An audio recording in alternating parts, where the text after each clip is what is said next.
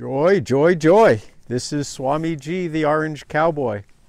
Welcome to this 21 day course in joy.